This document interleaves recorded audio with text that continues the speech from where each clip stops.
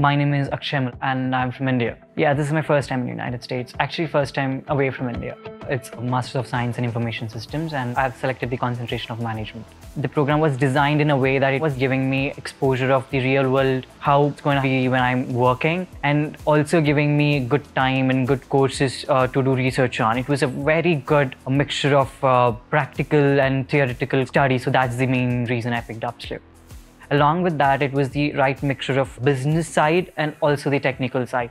Once I graduate, I'm definitely going to work in a technical company.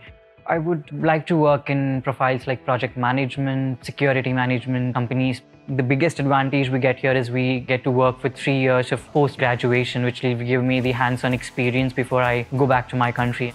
I understand that there are the same programs in India as well and from very good colleges, but the STEM program gives you a lot of advantages exposure, I believe, is very much important.